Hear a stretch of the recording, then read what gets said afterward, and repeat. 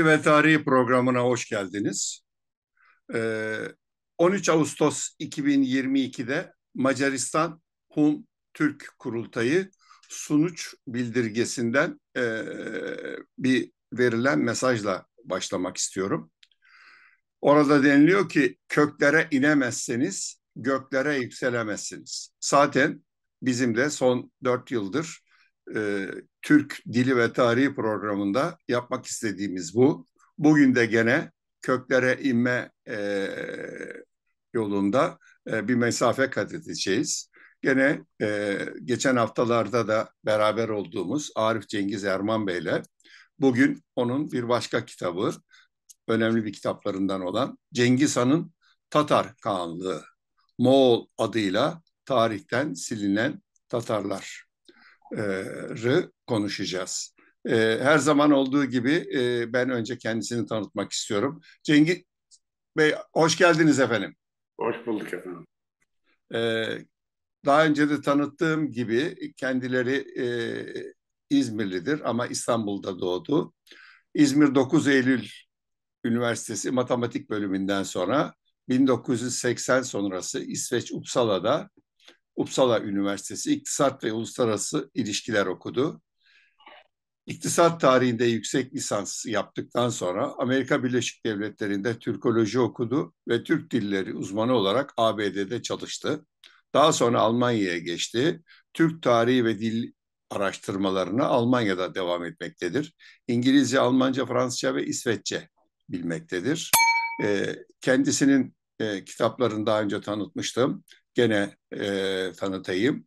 Devlet ve Demokrasi, Sermaye, e, e, Gök Tanrı inancı, Türklerin gerçek tarihi, Turan tarihi, Çin tarihinin gerçeği, bunu da önümüzdeki haftalarda kendisiyle yapacağız.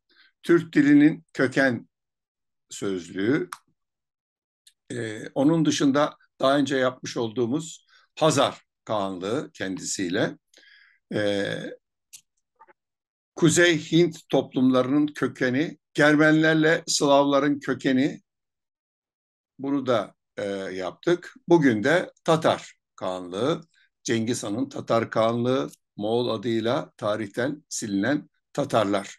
Şimdi bu kitap da oldukça hacimli. E, ben kitabın içeriği konusunda size biraz bilgi vereyim.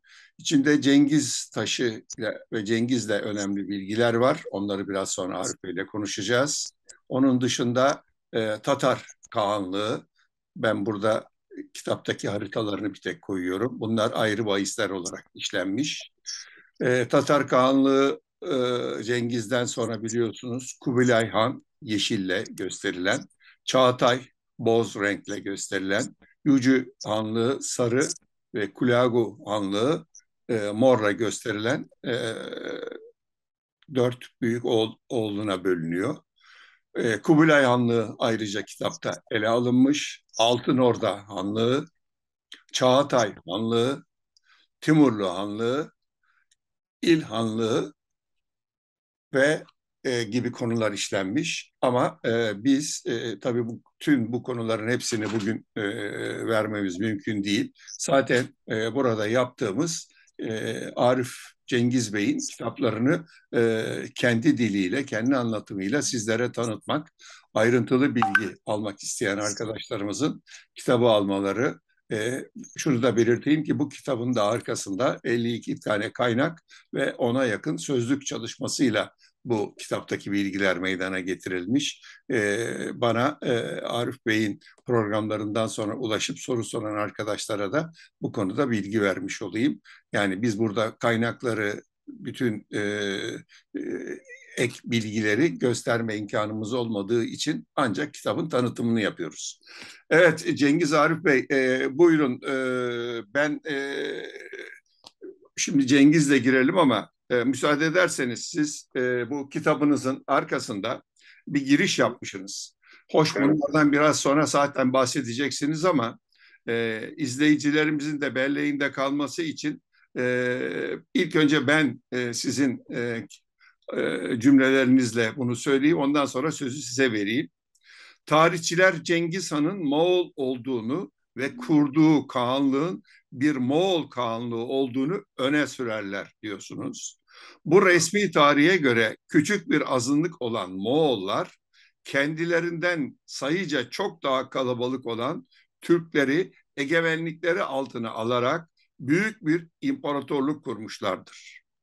Ancak bu tarihçilerin hiçbiri Cengiz Han'dan önce Moğol adlı bir halkın tarihteki varlığını herhangi bir tarihi kaynağa dayandırarak açıklayamazlar.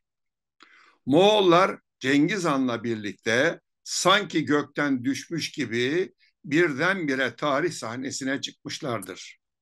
Bu tarihçilerin tarihi kaynak olarak ortaya sürdükleri tek belge ise Çince yazılmış olan Yuan Hanedanlığı'nın Gizli Tarihi adlı metindir. Gerçekte bir destandan başka bir şey olmayan bu metin artık Moğolların gizli tarihi olarak biliniyor. Yalnızca çok değerli bir sözlük olarak değil ama aynı zamanda çok değerli bir tarihi belge olarak da büyük bir önem taşıyan Kaşgarlı Mahmud'un 11. yüzyıl sonunda yazdığı Divan-ı Lugatıl Türk adlı eserinde Moğollar ile hiç bir bilgi bulunmaz. Mo Kaşgarlı Mahmud'un eserinde atlarına yazdığı bütün Türk boylarının yanında Farslardan, Tibetlilerden ve hatta Japonlardan bile söz eder. Ancak Moğollardan bir tek söz bile etmez. Ana yurdu Orta Asya'yı çok iyi tanıyan Kaşgarlı Mahmud acaba Moğolları dikkate mi almamış yoksa Orta Asya'da hiçbir Moğol'a mı rastlamamış? Kaşgarlı eserinde olmayan bir halkın varlığından nasıl söz edilebilir? An ancak Çinli ve Batılı tarihçilere ve dahi onlara hiç sorgulamadan tekrar eden Türk tarihçilerine göre Moğollar tarih boyu Türklerle bir arada yaşamış. Kaşgarlı Mahmud'un da bir arada yaşadığı bu Moğolları hiç fark etmemiş meğer. 16. yüzyılda yazılmış olan ve Türk tarihi açısından çok değerli bir tarihi kaynak olma niteliğini taşıyan Tevarihi Güzide-i Nusretname ise Moğol olarak adlandırılan halkın aslında Tatar olduklarını yazar. Ancak Moğolların Türklerden bir ayrı halk olduğunu savunan tarihçilere göre bu eserlerin hiçbir önemi yoktur anlaşılan. Ve şöyle devam ediyorsunuz. Cengiz Han bir Türktü. Cengiz Han bugün Moğolistan olarak adlandırılan Tataristan topraklarındaki Türk boylarını birleştirerek kurduğu kağanlık da bir Türk kağanlığıydı. Bu Türk boylarının torunları Avrasya'daki Türk topraklarında ve bugün de yaşamaktadırlar. Tüm Orta Çağ kaynakları Cengiz Han'ın ve halkının Tatar olduğunu yazar. Günümüzün tarihçileri ise inatla onlara Tatar ya da Türk değil, Moğol olduklarını savunurlar. Batılı ve Çinli tarihçilerin Türkleri tarihten silmeyi amaçlayan bu çabaları ile bir dereceye kadar anlaşılabilir. Çünkü bu Türkofobinin nedeni tarihseldir. Eğer Türkleri tarihten çıkarırsanız Türklerin tarihi Türklerden başka herkese yetecek kadar zengindir. Ancak Türk tarihçilerin Batılı ve Çinli tarihçilerle ağız birliği içinde bu Türkofojiye katılmalarında katılmalarının hiçbir anlaşılır yanı yoktur. Uzun sözün kısası bu kitap Moğol adıyla tarihten silinen Tatar Türklerinin tarihini anlatıyor. Evet, biz de bunu sizden dinlemek istiyoruz. Buyurun Arif Bey. Evet, e, ön sözde de belirttiğim gibi e, tarihte Moğol adında bir halk hiçbir zaman olmadı. Bu halk sonradan ortaya çıktı. Moğolca denilen dil de sonradan ortaya çıktı. Yani on, 17. Ee, yüzyılda klasik Moğolca denilen bir dil ortaya çıkmıştır. 17. yüzyılda oluşmuştur. Ardından da 18. yüzyılda bugün modern Moğolca, bugünkü Moğolca dediğimiz dil oluşmaya başladı. Bunu hiçbir hiçbir batılı tarihçi inkar edemez. Bu böyledir yani. Ama 17. yüzyıldan önceki Moğolca'ya da ön Moğolca'ya da işte e, eski nasıl diyelim e, Erken Moğolca. Eski Moğolca diye adlandırıyorlar ancak bununla ilgili hiçbir belge yok. Yani şimdi bir dili tanımladığınız zaman o dille ilgili kanıt vermeniz gerekir. Bu yok. Bununla ilgili verdikleri tek kanıt Cengiz taşıdır. Ona ileride geleceğiz. Cengiz taşının Moğolca yazıldığını söylerler. O en eski ön Moğolca yazıldığını söylerler. Ancak değil. Ayrıntılarıyla ele alacağız. E, Mo, e, Tatarlar Tatar diye bir e, Türk halkı bir gruptur. Yani Oğuzlar gibi çok sayıda boylardan oluşur. Bu Orhun yazıtlarında dokuz Tatarlar olarak geçer, otuz Tatarlar olarak geçer. Yani yaptıkları boy birliğine göre, boy sayısına göre adlandırılmıştır bu. Cengiz Han dönemindeki Tatarlar da 42'nin üzerinde boydan oluşuyor. Hatta o dönemdeki Kırgızlar bile o Tatar birliğinin içinde.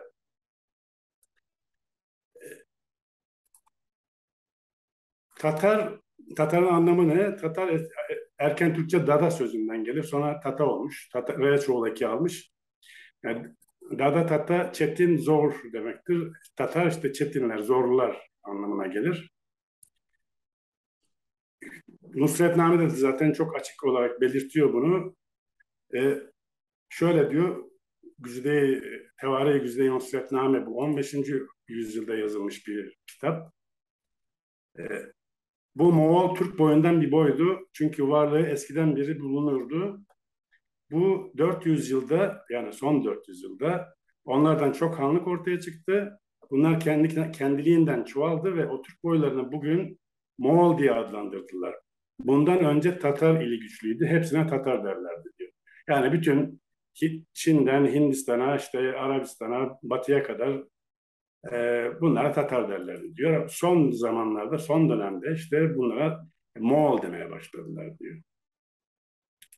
E, Cengiz Han kurduğu Tatar Kanlığı'nın bir adı da var aslında. Adı Alankova.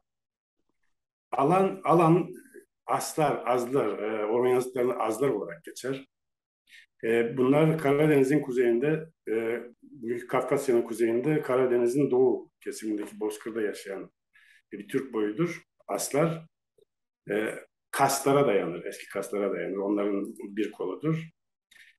Bunların bunlardan bir bölük e, zamanla şeye Orta Asya'ya gitmiş. Bugünkü Moğolistan topraklarına yerleşmiş. Cengiz Han da bu aslardandır aslında. Adı da zaten Alan Koa. Eski Türkçe e, ülke, imparatorluk, kağanlık anlamına gelir. Daha sonra bu Mandarin diline e, Gua olarak geçmiştir. Japonca'ya Ko olarak geçmiştir. Japanko derler onlara.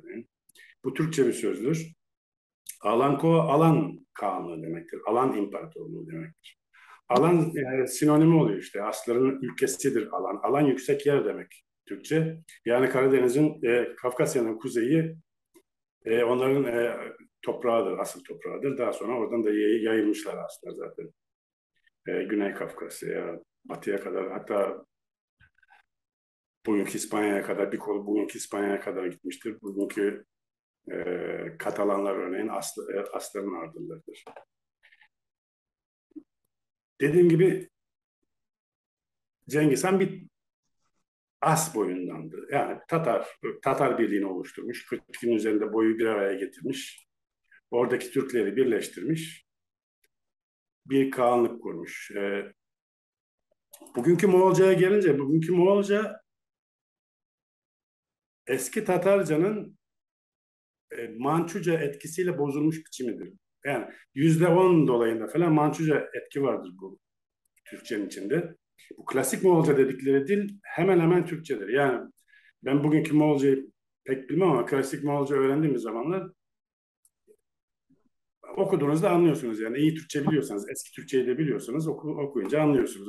Anlamadığınız birkaç ke tek tük kelimeler olur onlar da şeydir Mançuca'dan e, geçen kelimelerdir. Örneğin morin, at falan.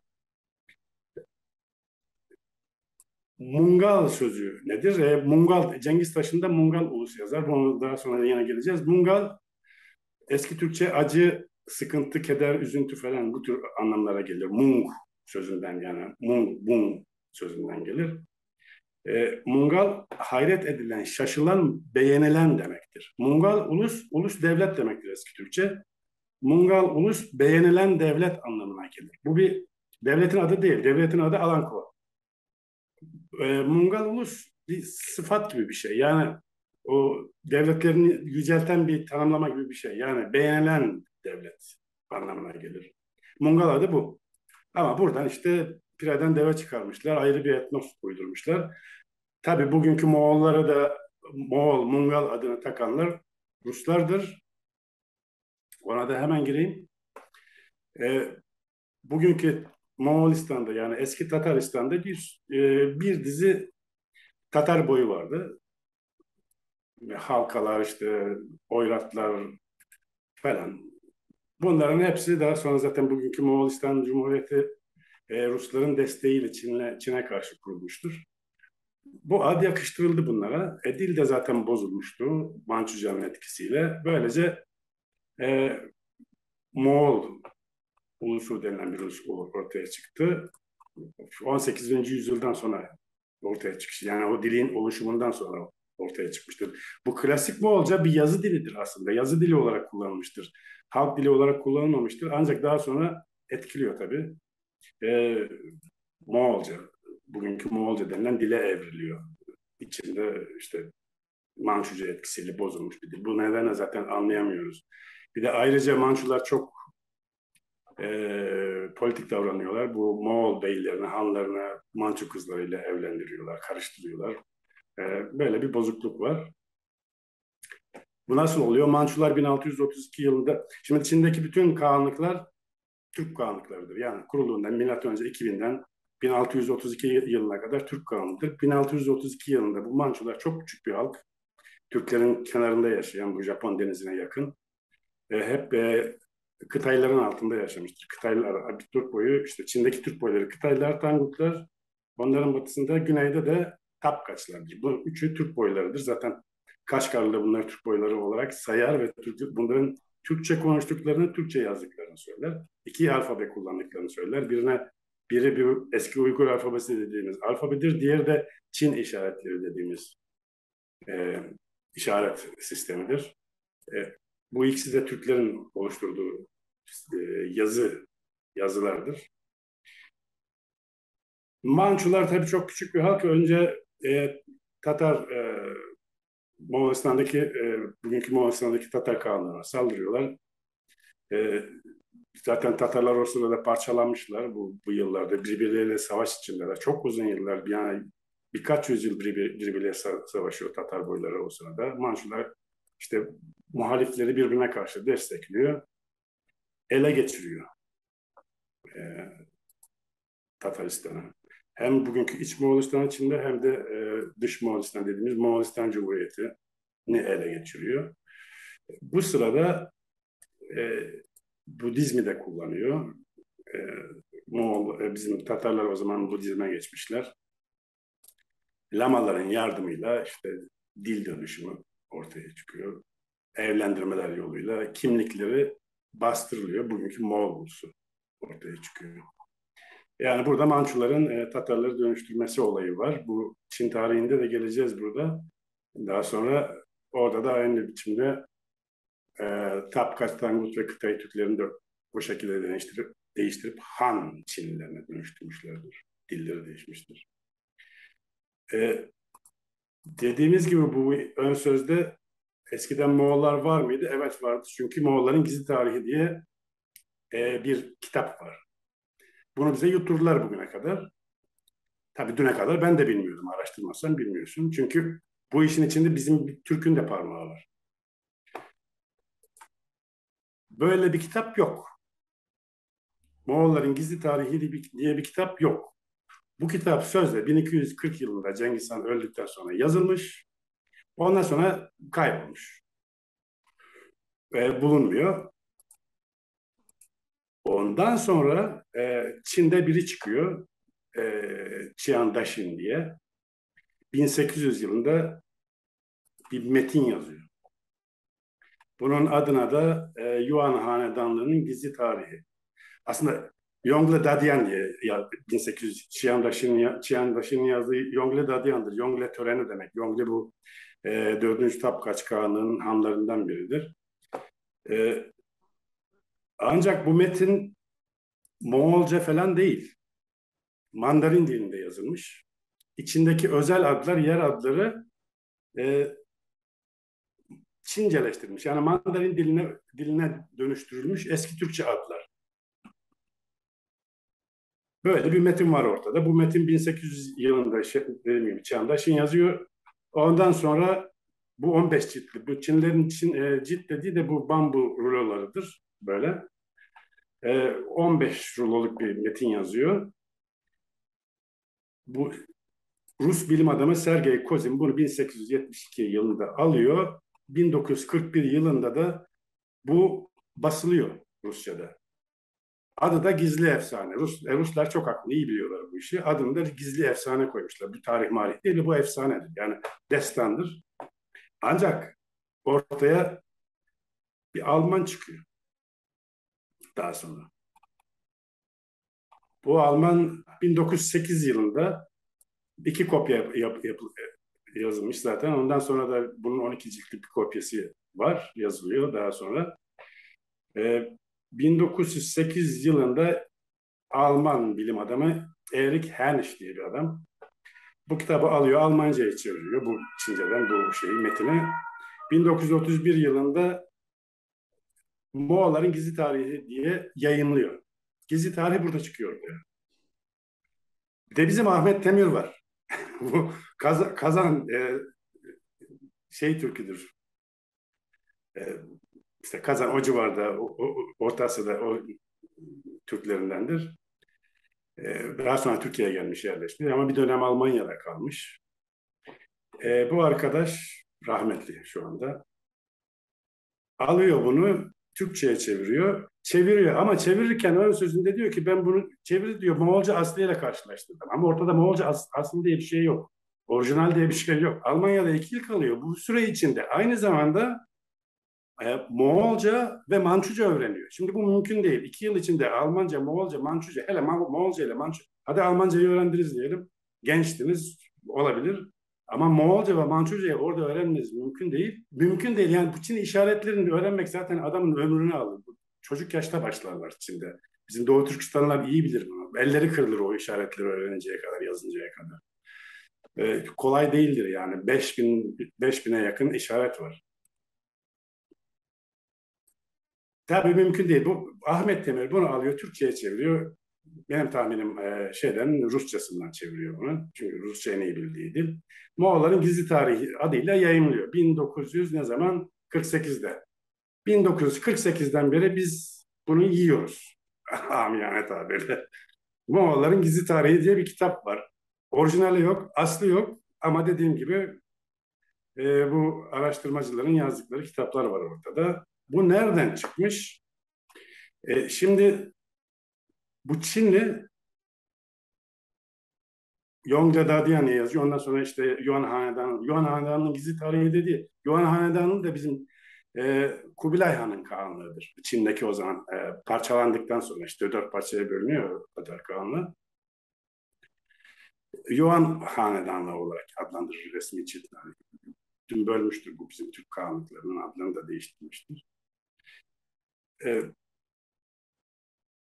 Yuan Hanedanı'nın gizli tarihi olarak Çin'de bilinir. Bunun işte kitabı da var bende Çincesi.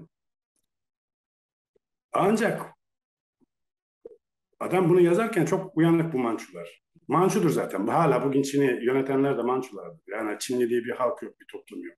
Han diye bir toplum yok.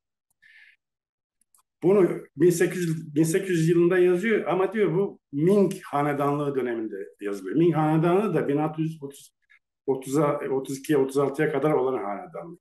Yani 1500'lerde falan yazıldı diye bir de yalanı var bu işin. Bunun. Yani bu iş başlı başına yalan üzerine kurulmuş bu Moğolların gizli tarihi denilen olmayan kitap. Ancak bir kitap var ortada. Altan Topçu diye. E, ne zaman yazıldığı belli değil. 17. yüzyılda ya da 18. yüzyılda klasik Moğolca yazılmış bir kitap var. Altan Topçu. Altın topça demektir. Altın topçu ya da altın, altın topça altın altın bütünlük demektir. Yani kitabına o adını takmış. Böyle bir kitap yazmış. Bu, bu sözde kronoloji ancak kronoloji baştan aşağı yanlış.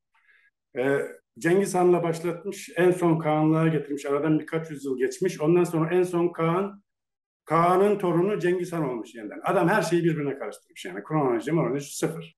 Kronoloji değil. Bu bir destan. Uydurmuş. Bir destan yazmış. Altın Topçu diye. Bunun da Türkçesi çevrilmiştir. Vardır. Bu Çinli e, 1800 yılında bu Altan Topçu'dan bunu alıyor. Mandarin diline çeviriyor. Yuan Hanedanı'nın gizli tarihi diye ondan sonra ortalığa saçılıyor bu. Çünkü o zaman ne? O zaman e, yeni Çin, o zaman Mançular yeni e, egemenliğini sağlamışlar 1818. yüzyılın sonlarında. Mo, Mo, e, bugünkü Tataristan'da, Moğolistan'da yani bugünkü Moğolistan'da, eski Tataristan'da. E, ne yapacaklar? Bunları kendilerine yakıştıracaklar. İşte biz kardeşiz türünden. E, böyle bir kitap yazmışlar, ortaya çıkarmışlar. Daha çok da bu Tatar entelektüellerine yönelik bir şey olması gerekir. Ancak Altan Topçu diye bir kitap var tabii. Bu Altan Topçu yazmış adam e, bir destan ancak adlar falan çok yanlış yumuş. Eski Türkçe'de yok. Bugünkü Tatar Moğolca'da yok. E, bozulmuş adlar. Nereden alınmış, nereden alınmış diye bakıyorsunuz. Cengiz Name diye bir şey var sizde. Cengiz Name 13. yüzyıldan beri yani Cengiz Cengiz Han öldükten sonra oluşturulmuş bir destandı. 16. yüzyıla ilk kez yazıya geçiriliyor bu. Ee, işte efsanevi olarak, böyle destansı olarak Cengiz Han'ın yaşamını anlatır. Çok estetiktir. Ee, sanatsal açıdan çok güzel bir destandır. Ee, Altan Topçu bu işte bu Guanzan denilen e, Moğol artık Moğol, Moğollaşmış çünkü e, korkunç Mançu yanlısı, Mançu yalakası bir adam. Zaten onu da belirtiyor orada. E, Altan Topçu'da.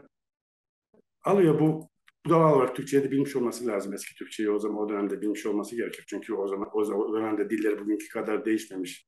E, Türkçe'ye çok yakın bir dil konuşuyorlar. Daha Moğol dili henüz oluşmamış. Ama yazı dili biliniyor klasik Moğolca. E, bizim Cengizname'yi almış, kendi kafasına göre değiştirmiş. Oradaki işte e, olanları Budizme yüklemiş. Daha çok Budizm ağırlığı vardır orada. Kendi kafasından da bir sürü ekleme yapmış. E, hayal gücünü kullanarak. Altınan Topçu diye bir kitap ortaya çıkarmış. Daha sonra da Çinliler almış bunu. E, Yuan Hanedanı'nın gizli tarihi diye basmışlar. Olay bu. Yani Moğolların Gizli Tarihi diye bir kitap yok. Hiçbir zaman yazılmamış. Aslı bilinmiyor. Ortada büyük bir sahtekarlık var. Ve bugün herkese yutturuluyor. Bütün Avrupa'da da Türkiye'de de herkes Moğolların Gizli Tarihi diye bir kitap olduğunu sanır, öyle bilir. Yoktur. Başta da dediğim gibi işte bu ön Moğolca diyorlar ya işte 17. yüzyıldan önceki Moğolca'ya bu Çinlilerle Batılılar. Buna da kanıt olarak gösterdikleri tek şey Cengiz taşıdır. Bu taş e, ne zaman dikiliyor? 1221 yılından sonra yani bu Tatarların Harezm'i ele geçirdikten sonra dikilen bir taş. Çok önemli. Bak hepsi de bunu söyler. Harezm'i ele geçirdikten, fethettikten sonra Cengiz taşı dikilmiştir der. Harezm çok önemli burada. Bu taş 1832'de bulunuyor. Ruslar buluyorlar bunu Moğolistan'da. E, iki parçaya bölünmüş, kırılmış bir taş. Sonra alıyorlar bunu Petersburg'a götürüyorlar. St. Petersburg'a Hermitage Müzesi'ne koyuyorlar. Ve ondan sonra da bunu önce kendileri okumaya çalışıyor. İşin içinden çıkamıyorlar. Nasıl okumaya çalışıyorlar? Moğolca ile okumaya çalışıyorlar. Ondan sonra Moğolları getiriyorlar. Onlara okutuyorlar. Onlar da kendi kafalarına göre okuyor ortaya böyle acayip bir şey çıkıyor. çok çeşitli okumalar var. Ee, okuma şöyle. Sartagul halkının fethinden sonra Cengiz Han Buka Sojikay bölgesinde Moğol ulusunun tümünün soylularını topladığında Yesünke 335 metre yaylan ateş etti. Yani 335 metreden okla e, hedefi vurdu. E bu olağanüstü bir şey değil. Yani o dönemde bütün Türkler çok iyi o kadar ve 335 metre değil 400-500 metreye kadar o kadarlar hedef vurdular. Çok iyi o kadar. Çünkü kompozit yayları çok iyi. E bunun için anıt dikilir mi? Dikilmez de. Bu komik bir şey. Çünkü okuyamadıkları için böyle bir şey çıkarmışlar. Bir de Yesunke, Yesunke şeydir, e, Cengiz Han'ın kardeşinin oğludur, yeğenidir yani. E, çok bahadır e, kahraman biri. Ancak bu Yesunge yanlış okuma. Yesunge değil.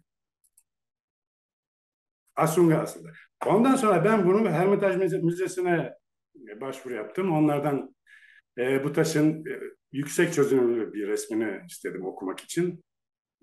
Çok yardımcı oldular. Ruslar aslında. Rusya'da herkes, bugün bütün Ruslar Cengiz Han'ın Türk olduğunu bilir. Yani Moğol falan demezler. Çok iyi bilirler de. Ama resmi bir tavırları vardır. Yine de Moğol derler. E, gönderdi bana öyle çekilmiş bir resmi. Ancak taş kırık ve bazı harfler silik. Bunu e, o eski Türk yazısını okuyan e, Nur Bayhan'la birlikte okuduk. O da uzman bu konuda okuma konusunda. E, burada Yesunke dediği aslında Asunga. Asunga dünyaya demek. Asun eski Türkçe dünya demek. Asunga'yı Yesunke, Yesunke okumuş. Ondan sonra da Yesunke e, şeyine bugünkü Moğolca'ya benzeterek oradaki yazıtı e, böyle uydurmuşlar. Yazıda okuduk. Yazı, yazıda okuduk. Yazıtta şöyle yazıyor. Cengiz Kan'a Sartagul irget alıp Bakıngı Kamagan Mungal ulusun Erat'ı Batkaga sürgeni Kuruk Sandur. Asunga onun turun Yarka Yakut Kön'ün tapu yıldızdır ön tutulga. Şimdi bugünkü Türkçeyle bunu hiç kimse anlamaz. Türkçesi şöyle. Cengiz Han'ın Harezm ülkesini yani bu Sartagul Harizm demek. Sartagul, Sartakul pardon Sartakul, Sartakul Sart, e, tüccara köle kul demek yani. Tüccara kul demek. O, Harizm bölgesi o zaman çok böyle ticari bir bölge. Orada çok tüccarlar var. Bizim Oğuz Türkleri yaşıyor, yaşıyor o dönemde. Bu Harizmler de eski Oğuzlar bizim.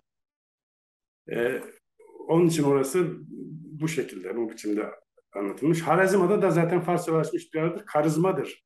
Karizma karılmış e, yer demek anlamına gelir. Yani e, inişli çıkışlı falan e, anlamına gelen bir yerdir. Karizmadır eski Türkçesi. Bugünkü Türkçesiyle yazı şöyle diyor. Cengiz Han'ın Harezm ülkesini yağmalayıp halkını, malını tüm Moğol ulusunun yani bu hay, beğenilen, hayralan devletin askerlerinin batığa sürüklemesi asılsız bir ündür, bir dedikodudur diyor. Dünyada onun tümünü aydınlığa kavuşturun diyor. Doğrunun isteği temeldir. Önem verilsin. Ne kadar güzel. Adam tane tane yazmış. Biz katliam yapmadık Harezm'e diyor. Çünkü neden? Ee, Cengiz Han ilk olarak Harezm'e de geçirmiştir. Önce Tapkaçlara saldırıyor. Kendisine bağlıyor tap Tangutları pardon. Daha sonra da Harezm'e saldırıyor. O da neden? Onun bir nedeni var. e, Cengiz Han ticaret yapmak istiyor. Ticarete çok önem veren bir insan. E, Harizmi'de çok kervanlar var o zaman o sırada Orta Asya'da. E, bu da bir kervan düzüyor. Harezm'e gönderiyor ticaret yapsın diye. Mal alsınlar, mal getirsinler diyor. Ama Harezm'e gittiğinde oradaki e, kale komutanlarından biri yağmalıyor. Malları da, malların da üzerine oturuyor ve öldürüyor kervan Tatar kervanındakileri. Cengiz Han önce bir mektup gönderiyor bu Harizm şeyine, Celalettin'e. O zaman ha Harizm Şahlar var ya. E, hem tazmin edin diyor, ödeyin bunu hem de diyor o komutanı bana bana verin. Ya siz cezalandırın ya siz e, idam edin ya da bana gönderin ben idam edin. Bu arada o komutan da Celalettin'e diyor ki bunlar e, Tatar ajanlarıydı onun için öldürdüm. Yani böyle bir durum var. E, Celalettin aynı zamanda akrabası. Celalettin bunu yapacağına Cengiz Han'ın gönderdiği iki tane e, elçiyi birini öldürüyor, birinin de bıyıklarını kesiyor. Çok ağır bir hakarettir. Geri gönderiyor. Onun üzerine Cengiz Han saldırıyor, Harezmi ele geçiriyor. Ancak katliam falan yapmıyor. Zaten detaylarda var. Kitapta bunu yazdım ayrıntılarıyla. Askerler ölür tabii yani. Askerler ölüyor. Savaşta askerler ölür. Ama halkı ellemiyor. Hele hele bu sanatçıları, sanatkarlar hiç ellemiyor. Bunları alıyor, e, işlendiriyor. Bunlara destek, mali, destek de veriyor. Ve çalışmalarını sağlıyor bunların. E, tüccarlara, zanaatçılara çok iyi davranmış Cengiz Han. Onları almış hatta Orta Asya'ya Çin topraklarına falan da götürmüş bir kısmını. Oralarda işte kültür alışverişi olsun diye yani Türk boyları arasında. Yani taşın dikilme nedeni bu. Biz Harazm'da katliam yapmadık. Bu bir dedikodudur. Bunu bütün dünyaya yayın. Anlatın. Cengiz taşı bu.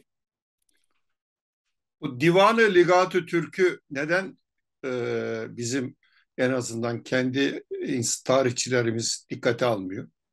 Şimdi şöyle bir şey var. O çok ilginçtir. Bak bu Divanı Ligatü Türk, Ligatü Türk'ü okurlar ancak hiçbir şey anlamazlar.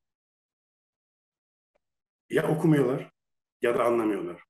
Çevirenler de çok güzel çevirmiş aslında. Ama Batı'da şöyle bir şey var. Ee, ya Kaşgarlı yazmış ama güvenilmez onun yazdıklarına. Batılı tarihçilerin e, bir aşağılaması vardır Kaşgarlı'ya. E bizim e, tekrarcı tarihçilerimiz de ne yapacak? Batı Nesser Üniversitesi doğru söylüyor ya. Onlar da işte Kaşgarlı'yı dikkate alıyor. Kaşgarlı yazmış ama. Kaşgarlı büyük bir bilim adamıydı. Ve görerek, bilerek yazmış biriydi yazdıklarını. Ve sen bugün Kaşgarlı'yı aşağılarsan, dikkate almazsan, ciddiye almazsan kendi tarihinden kopmuşsun demektir. Bu iş böyle. Tabii doktora tezine rastladım. Bu Tevarih-i Güzde-i Nusretname'den Çağatay Türkçesinden bir alıntı yapmış, bir tez yazmış. O, o alıntıda da e, Tatar, Moğol diye bir halk yoktur. Bunlar Tatarlardır diyor. Ama bu tezi yazan Çağatay Türkçesini de anlamıyor. O, o alıntıyı koymuş oraya altına da döşemiş. Moğollar, Moğollar, Moğollar, Moğollar, Moğollarla Türkler şöyle savaştı bilmem. Ya bu nasıl bir tarihçilik anlayışı? Ya bunu tekrar tekrar söylüyorum. Aşağılamak için değil ama kendilerini düzeltmesi gerekir bizim bu Türk tarihçilerin. Yerlerde sürünüyor bizde tarihçilik anlayışı. Ben tarihçi değilim. Ben iktisat tarihçisiyim. Ama bu işlere girmek zorunda hissettim kendimi. Yani bir de Türk, Türk olarak olmanın da verdiği bir şey var, e, ilgi var. Bu olay Kaşgar'da çok açık olduğu halde bizde niye böyle değil? İşin içine dediğim gibi işte Batı'nın yazdığı resmi tarih giriyor. Kuruluşu da şöyledir aslında. Ee, önce e, Tataristan'daki yani bugünkü Moğolistan'daki bundan sonra Tataristan dediğimiz zaman bugünkü Moğolistan anlaşılsın. Buradaki Türk boylarını birleştiriyor. Önce Tayçut büyük Türk e, boyları var. Tayçut, Kongrat, Uravut, Noyakin var. Önce bunlara saldırıyor. Bunları yeniyor. E, Onghan'la bu Kereyit boyunun e, Hanı Onghan'la birleşiyor. Merkitlere saldırıyor. Onları yeniyor. Ondan sonra Dörben, Katahan ve Salcıut boylarıyla birleşen Naymanlar saldırıyorlar Cengiz Han'la Ongan'a. Ancak yeniliyorlar. Ondan sonra Cengiz Han Naymanlarla birleşiyor. Bu kez Kereyitlere saldırıyor. Onghan'la oğlunu öldürüyor. Bütün birliği sağlıyor. Bu iş böyle. Yani savaşarak birlik sağlanıyor o dönemde. Böylece Cengiz Han işte bu Merkitler, Naymanlar ve Kereyitler en büyük boylardır. Bir de Alanlar işte Cengiz Han'ın kendi boyu. Alan Ko kuruyordu ondan sonra zaten. Yani Aslar. Türk birliğini sağlıyor Tataristan'da. Ancak bu devlet kurmak için yeterli değil tabii. Finans gerekir. Bu finansı da Uygurlar sağlıyor. Uygur Hanı, Uygur Kağanı İdikut Barçuk var.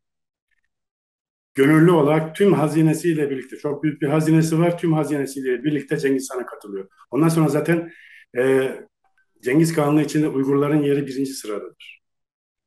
E, bu büyük bir finans sağlıyor Cengiz Han'a. Ayrıca Tatarlar okuma yazma bilmiyor, Uygurlar biliyor. Bu bizim eski Türk alfabesini. E, bu açığını da kapatıyorlar Uygurlar. Zaten yazıcısı da Cengiz Han'ın Uygur'dur. E, Uygurlar her türlü desteği sağlıyor. Ar ardından Karluklar. Tatarlar güçleniyorlar. Uygurlar, Karluklar, Tatarlar birleşiyorlar. Ee, ilk olarak Tangut Türklerine saldırıyor Cengiz Han. Ee, Tangutlar İpek yolunun kontrolünün, denetimini tutuyorlar. Eline tutuyorlar o İpek yolunun. Çin'den çıkan İpek yolu işte Orta Asya'dan geçiyor. Onun en merkezi yerindeler, en stratejik yerindeler Tangutlar. Oraya saldırıyor. Ee, bir süre savaşıyorlar. Ondan sonra Tangutlar e, ardından 1221 1222 yıllarında Afganistan'a, İran'a ve Kafkasya'ya saldırıyorlar. Tatarlar ve Yıldırım Harekatı gibi bir şey. E, çok büyük komutanlar var Subutay. 14 yaşında orduya katılmış, çekirdekten yetişmiş, hiçbir savaş kaybetmemiş bu Subutay. Onun zaten komutanlığında asıl şey o, e, komutan.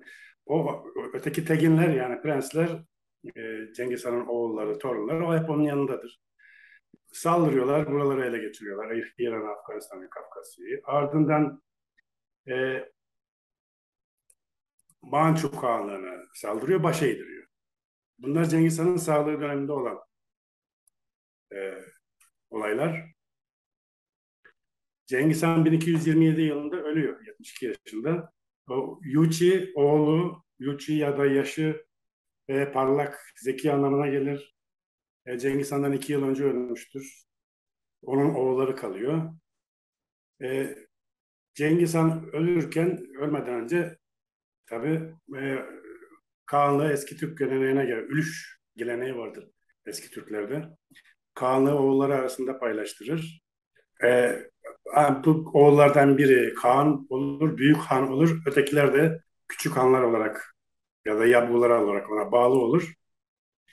Paylaştırıyor. Büyük oğlu Yüçü'ye işte Aral Gölü'nün kuzeyinde işte batıda Hazar bugünkü um, bugünkü Ukrayna batı topraklarını e, büyük oğlu Yüçü'ye Yüçü'nün çocuklarına veriyor. O zaman Yüçü'nün çocukları e, Batu'yla orada orada e, Çağatay'a Doğu Türkistan bugün Uygur ili işte Kayalık bu bugünkü e, Orta Asya'nın e, Türkistan'ın doğusunu veriyor. Hatta batısı da var. Ondan sonra Tuluy'un oğlu Mengü Han seçiliyor. Büyük Han seçiliyor 1251 yılında. Ve 1253 yılında bütün Çin ele geçiriliyor. Fethediliyor bütün. Yani Çin'in Gökırmak dediğimiz o ırmağın güneyindeki e, topraklar da ele geçiriliyor. Yani orada Tapkaçlar var o dönemde. Tapkaç Türkleri, Tapkaç Kağanlığı, dördüncü, üçüncü Tapkaç Kağanlığı ele getiriyor. Sui diyorlar. Ee, Çin, Çin tarihinde. Orasını ele geçiriyorlar.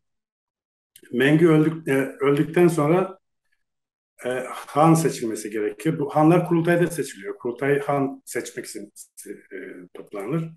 Orada teginlerden biri han seçilir. Yani han soyundan olması gerekir han seçilerin.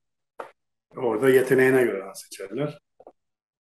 E, Mönke'nin ölümünden sonra kardeşleri Kubilay ile Külegü, Kubilay Çin'de savaşıyor, Külegü de Külegü'yü de e, şeye göndermiş Mengü. E, Müslüman ülkeleri fethetsin diye işte İran'a, e, Anadolu'ya o zaman Anadolu'da Anadolu Selçuklu Devleti var. Oraya büyük bir orduyla oraya gidiyor. Orada savaşıyorlar. Bu arada Arık Böke kardeşleri kendini han ilan ediyor. Orada alelacele küçük bir kurultay topluyor. E, Tataristan'da. Kendini han seçtiriyor. E, şeyde Kubilay da bakıyor arkasından. O da kendini han seçtiriyor. E, o da bir şey e, kurultay topluyor. O da han seçiliyor. Ama komutanların büyük çoğunluğu Kubilay'ın yanında. Kubilay çok iyi bir savaşçı. Çin'de fethi üstüne fethi yani Vietnam'a kadar e, fethediyor oraları. Bu ikili hanlık dönemi vardır.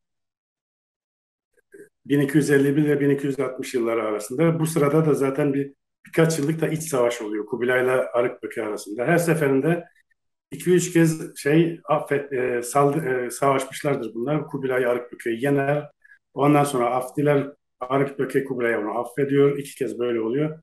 Üçüncüsünde de yine affediyor. Ama ondan sonra Kubilay şey Arıkböke ölüyor. Ee, Kubilay Han Kubilay Han'ın hanlık dönemi başlıyor. O zaman daha Tatar Kanlığı bölünmemiş tek bir bütün halinde. 1260'da tek han oluyor Kubilay. 35 yıl kağanlık yapıyor. 1294'te ölüyor. Ee, Japonya'ya e, büyük bir e, seferi var değil mi? İki saldırı vardır. İki saldırı da şanssız saldırıdır, talihsizdir. Ee, birincisi çok alelacele yapılan bir saldırı gemilerle tutunamıyorlar. Ee, adalar birkaç adaya giriyorlar ancak geri çekilmek zorunda kalıyorlar. İkincisi çok büyük bir donanma hazırlıyor Kubilay. Hem e, iki yerden birden saldırıyor, iki ayrı donanma halinde saldırıyor ama öyle bir e, kasırga, tayfun pat, patlak veriyor ki o Japon denizinde e, bütün donanma batıyor. Yani on binlerce Tatar, Türk ölmüştür o şeyde, o kazada. Kazadır o. Bir daha da yanaşmıyor Japonya'ya. Yani alınması zor bir yer. Sağ, sağ salim çıkabilse donanma alacak tabii. Japonlara kadar Japonlar zaten paramparça bölük bölük adalarda kendi aralarında savaşan bir halk o zaman. Bir bütünlüğü yok ama şanslı. Yani ele geçiremiyor. Ama Kore Kore'yi geç, ele geçiriyorlar tabii ilk. Kore ele geçiriliyor. Ee, çok, çok az bir savaş var. Bir kez oluyor galiba. Ondan sonra Koreliler de katılıyor. Zaten sıralamada Uygurlar birinci, Karluklar ikinci, Koreliler üçüncüdür. Ee, şeyde e, Kağanlık sıralamasında. Ee, ne, ne olarak? Yer olarak, kariyer olarak yani. Bunlar sevilen halklardır Kağanlık içinde. Kubilay öldükten sonra hanlık parçalanıyor. Dört parçaya bölünüyor. İşte Kubilay Hanlığı içinde Büyük Hanlık, Çağatay Hanlığı, Altınorda ve Külegün'ün Kağanlığı var, İl Hanlığı. Ee, Kubilay'ın oğlu ölüyor. Onun yerine torunu bir oğlu olmuş herhalde. Tabii başka oğulları var. Şöyle bir geleneği de burada hatırlatmak gerekir. Ee, eski Türk geleneklerinde hatundan olan oğullar ancak tahta çıkabilir. Küngeden yani cariyeden olan oğullar tahta çıkamaz. Osmanlı bunu bozmuştur. Önüne gelen cariyeyi hatun yapmıştır. Kendi kafasına göre. Ama kural budur eski Türk geleneklerinde. Yalnız ve yalnız hatundan yani kraliçeden doğan çocuklar han olabilir, kan olabilir.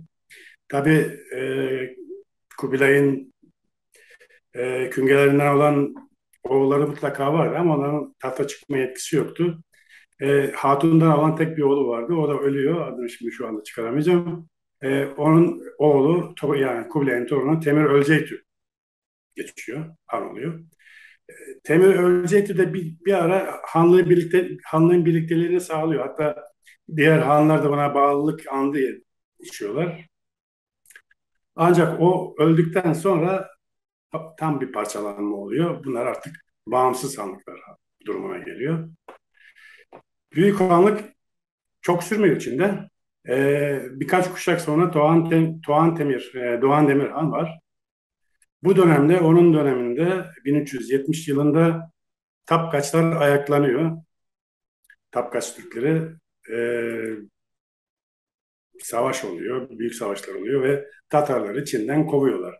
Nereye kaçıyorlar? Bugünkü işte Moğolistan, iç Moğolistan ve dış Moğolistan topraklarına çekiliyor Tatarlar.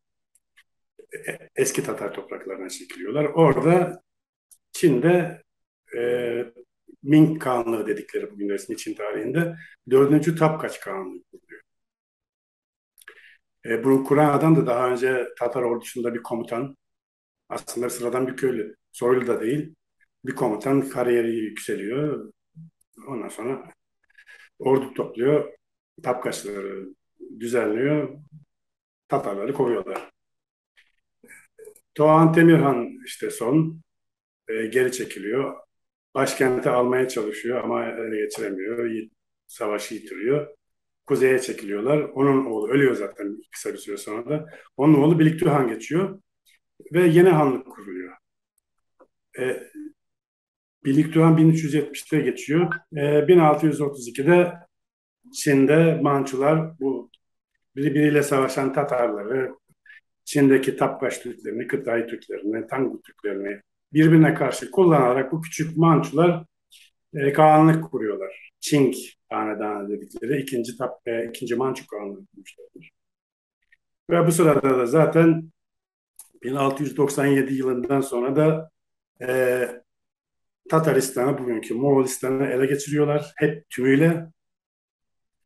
E, 1758 yılında da son Tatar direnişi eziliyor ve tamamen ele geçiriyorlar. E, Tatarların dönüşümü işte bu dönemde başlar artık. Bundan sonra o Mançuca'nın etkisiyle işte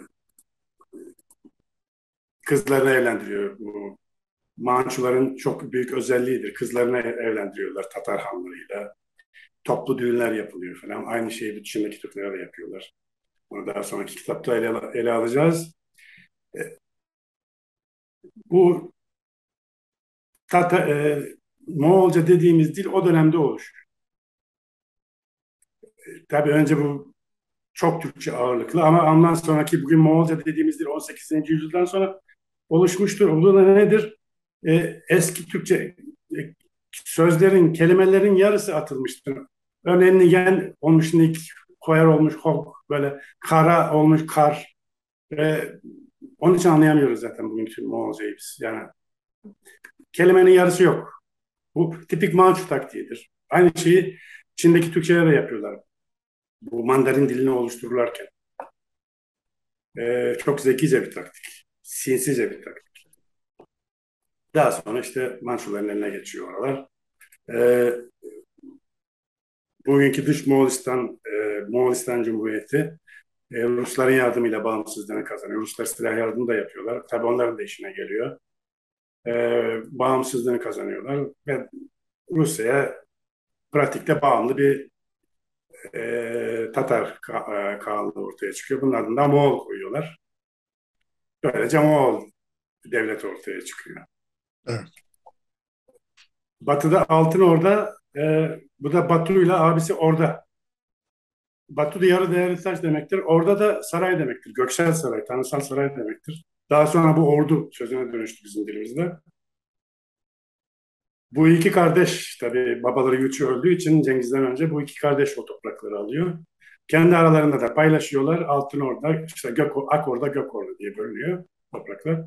Anadolu'da Anadolu Selçuklu Devleti var. İran'da tabi dağılmış Selçuklu Kağlı Hanlığı dağılmış, parçalanmış İran e, İlhanlığı altına giriyor. Anadolu'da Anadolu Selçuklu Devleti e, Tatarların tabunluğu, egemenliği altına giriyor. E, bizde yaygın bir kanı vardı bu işte bu Batı'nın şeyiyle hmm, ne diyelim Batı taklitçiliğiyle, tekrarcılığıyla olan bir şey. Efendim Moğollar Anadolu'da çok büyük katliamlar yapmış. Yani hatta bunu televizyonlara çıkıp tarihten anlamayan gazeteciler ıvırlar zıvırlar da söylerler. İki büyük katliam olmuş. Birini Haçlılar yapmış, ötekinde e, Moğollar yapmış. Yok böyle bir şey. Moğollar Anadolu'da katliam yapmadı. E, Tatarlar hiçbir katliam yapmadı. Tatarlar bir kente, bir kaleye saldırmadan önce haber gönderdiler. E, bizim e, egemenliğimizi tanıyın. Yüzde on vergi, yani gelirinizin yüzde onunu vergi olarak verin. Erkeklerinizin yüzde onunu da asker olarak verin. İstedikleri tek şey bu. Savaşmayacağız, saldırmayacağız. Kendi gönül, gönül isteğinizle gönüllü olarak bize katılın. Katılmazsanız e, sonunu bunu Tanrı bilir diye böyle bir şey vardır. Bir çağrı gönderirler. Kabul eden katılır. Kabul etme, kabul, kabul etmezlerse savaş olur. Kötü bir savaş olur. Ve girdiği yere taş taş üzerine bırakmaz. Ama sivil halka dokunmaz Tatarlar hiçbir zaman. O Türklerin geleneğinde de yoktur zaten. Askerler ölür. Direnirlerse. Yani dediğim gibi zanaatçıları, e, sanatçıları, bilim adamlarını korurlar. Sivil halka, çoluğa çocuğa zarar vermezler. Askerler ölür. Bu gayet de doğaldır o zaman. Dediğim gibi Anadolu'da da böyle oldu. Selçuklular bağlandı. Zaten e, başına da bırakıyor. Selçuklu sultanını bırakıyor zaten. Hep kalmıştır. Ama daha sonra o parçalanma dönemi yaşıyor. Anadolu Selçuk tarihine girer. İşte beylikler ortaya çıkmıştır falan. Son Kaan Toktamış'tır. Buna da e, Timur Yeniliyor. Temir küregendir. Onun asıl adı küregen gömen demektir. Adı üzerinde temir küregen. Gittiği yeri gömmüş. E, dinler bir Müslüman. Temir küregen. Toktamış Tengrici Müslüman değil. Saldırıyor. Toktamış'ı yeniyor. Toktamış daha sonra öldürülüyor tabii. Yani eski Türk yazısıyla e, yarmak basan, sikke basan, para basan ve son Türk hanıdır Toktamış. Toktamış öldükten sonra Altınorda dağılıyor. Son birliği sağlayan da Toktamış'tı zaten. E ondan sonra o toprakları da ele geçiremiyor zaten. Ruslar güçleniyor, Ruslar ele geçiriyor o toprakları. E, bunu aşırı dindarlığından yapmıştır Timur yani. E, Altınorda dağıldıktan sonra kuzeyde İdil Bulgarlarının kurduğu Kazan Hanlığı var. Güneyde Kırım Hanlığı var, Kırım ve çevresinde. Onun doğusunda Nogay, Nogay orada var. E, Sibirya'ya doğru, Batı Sibirya'da no, e, Sibir Hanlığı kuruluyor. E, onun güneyinde bugünkü Özbekistan, Batı Türkistan topraklarında Şeybane Hanlığı vardır. Özbek diye bir şey yok zaten Özbek. Özbek Han'ın adından dolayı. Bu Şeybane Hanlarından biri Özbek Han'dır. Onun adından dolayı Ruslar Özbek diye bir Türk topluluğu çıkardılar. Özbekler tarih boyu kendilerine Türk demiştir. Aynı bugün Uyku Uygurlar gibi. Uygur, bugün Uygur diye bir şey yoktur. Ondan sonra da uydururlar. Çünkü bugün Uygur dedikleri e, Türkler e, çok çeşitli Türk boylarının karışımından oluşmuştur. Yani Karluklar, eski Tatabılar, e, Kaşgarlı'nın asıl Uygur dediği Tatabılardır. Tatabı Türklerdir. Onun yazıtlarında da geçer zaten. Taziyeye onlar da e, Tatabılar da gelmişlerdir. Onlar bugünkü Doğu Türkistan'ın doğusunda yaşarlar Tatabılar. Tatabılar. Eski Uygurlar onlardır aslında. Bu Budizme falan filan geçenler. Daha sonra ötekiler de geçmişler. Karluklar falan da. Karluklar, Karluklar, Tatabılar e, işte dokuz Oğuzların karışımındandır. Bugünkü Uygurlar, bugünkü Özbekler de aynı şekilde. Karlukların hatta Oğuzlarla bir kısım katı, karışmışlardır. Arif Bey burada isterseniz keselim. Ee, oldukça uzun oldu. Öyle mi? Tamam. Siz toparlayın isterseniz son sözlerinizi.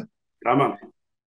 E, toparlarsak şöyle diyelim. E, Ça Çağatay Hanlığı'ndan sonra Timur Hanlığı kuruldu onun, bu topraklarda. İl Hanlığı yıkıldıktan sonra e, orada zaten e, çeşitli Türk devletleri kuruldu. Sonuç olarak batıdaki Tatar hanları dönem içinde İslam'a geçtiler, Müslümanlaştılar. E, bugünkü e, Moğolistan topraklarına kat, kalanlar e, Budist kaldı. Böyle dönüştüler. Ondan sonra batıya göç eden Tatarlar buradaki Oğuz, Kıpçak, Karluk gibi boylarla karıştılar. Günümüzdeki Kazaklarla Kırgızlar, e, Nogaylar, Örbe, Özbekler gibi Türk halkları bu karışımdan ortaya çıktı. Daha batıya gidenler İdil Bulgarlarıyla karıştı. Kazan Tatarları dediğimiz e, ya da işte Kırım Tatarları dediğimiz halklar oluştu. E, büyük bir kısmı da Ruslarla karıştı Tatarların. Sonuç bu. Yani evet. çok büyük bir Kağanlık. Dünyanın en büyük Kağanlığıydı. Toprak açısından en güçlü Kağanlığıydı. Parçalanarak bu duruma dönüştü. Evet. Yani e, Cengiz'in devrinden kalma Cengiz Taş artı Divani Ligatu Türk ve en son e, bu bahsettiğimiz 15. yüzyıldaki e, kitap e, bize zaten Moğolların e, Türk olduğunu gösteriyor. E, bunu açık bir şekilde koyduk. Kitapta da zaten evet. e, işte 50 kadar e, kaynaktan yararlanarak e, bunlar belgelenmiş durumda. E, ayrıca, ayrıca bu Cengiz Taş'ın çevirisini ben bir makale olarak e, 9-10 sayfalık bir makale olarak İngilizce gönderdim şeye müzeye. Sonuç bu. Yani evet. çok büyük bir kanunluk. Dünyanın en büyük kanunuydu. Toprak açısından en güçlü kanunuydu. Parçalanarak bu duruma dönüştü. Evet. Yani e, Cengiz'in devrinden kalma Cengiz Taş artı Divani Ligatu Türk ve en son e, bu bahsettiğimiz 15. yüzyıldaki e, kitap e, bize zaten Moğolların e, Türk olduğunu gösteriyor. E, bunu açık bir şekilde koyduk. Kitapta da zaten e, işte 50 kadar e, kaynaktan yararlanarak e, bunlar belgelenmiş durumda. E, ayrıca, ayrıca bu Cengiz Taş'ın çevirisini ben bir makale olarak e, 9-10 sayfalı bir makale olarak İngilizce gönderdim şeye müzeye. E, Hermitage Müzesi'ne e, artık doğrusunu doğru çeviriyi koyup koymamak onların elinde bilemiyorum. Evet. E, siyasi nedenlerden dolayı koymayabilirler eski Moğolca e, uyduruk çeviriyi kullanabilirler. Onlara kalmış bir şey. Ben Oldu. Çok teşekkür ediyorum. Ağzınıza sağlık. Ee, bundan sonra gene bir vaktiniz olduğunuzda bu sefer de Çin'i konuşalım. Ee, o kitabınız kaldı konuşmadığımız. Türk Dili ve Tarihi programının izleyicileri bir başka programda buluşmak üzere. Sizlere de iyi günler diliyorum.